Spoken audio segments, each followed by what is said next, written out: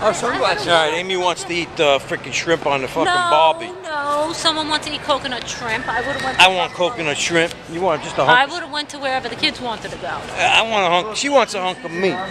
So what do you eat? You gonna get some protein in you? I don't give a shit. What's up? How many? Five. Five? You guys Yeah. mind sitting outside or inside? Can't hear. Outside or inside? Inside. Outside. Yeah, inside. Inside? My man. NBA. Hockey game's on tonight. All right, we're going Outback. We're gonna throw down some shrimp on the barbie.